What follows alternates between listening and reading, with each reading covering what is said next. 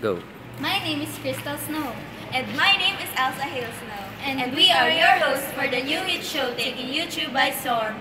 Science knows the way. Ladies and gentlemen, boys and girls, dogs, cats, horses, transsexuals, homosexuals, and asexuals, welcome to Science Knows the Way. What could we talk about in this episode? Let's find out. Hey Elsa, do you know the topic for today? I don't, Crystal. Let's check. And the topic is freezing. Shocking. No, wait. Wrong pun. I was frozen in place to hear that. Same thing here. I even got the chills when I opened the envelope. So Elsa, what do you know about freezing? Well, all that I know is that freezing turns water from a liquid into a solid and that it's really cold. I think it has something to do with the freezing point. Luckily though, we have someone who can help us. Who is it? His name is Blu. I just talked to him, but I can't find him. Hey everybody, my name is Blu, and these are my brothers. My second in command, Two, and the muscles, Big. Together we are Blu and Two Big.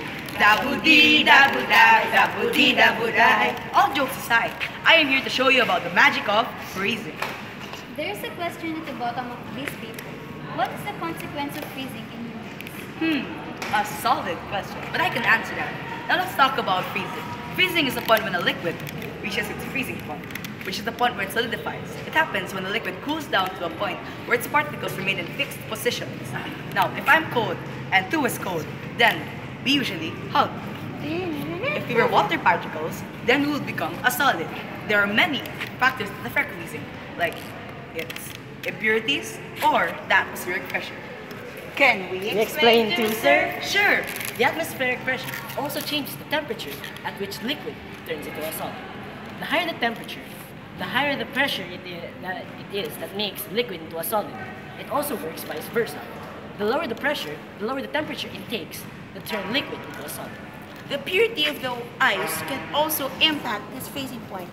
Let's say, for example, we were to add salt into water.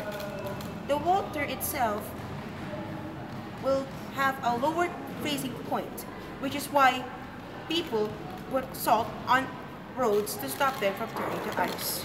The type of molecules can also affect the freezing point.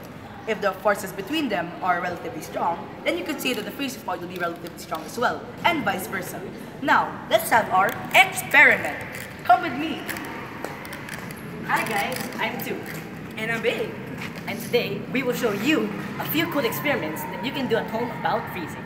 Well, the simplest one is grab a bottle of water, or a cup actually, put it in the freezer, and wait for a few hours.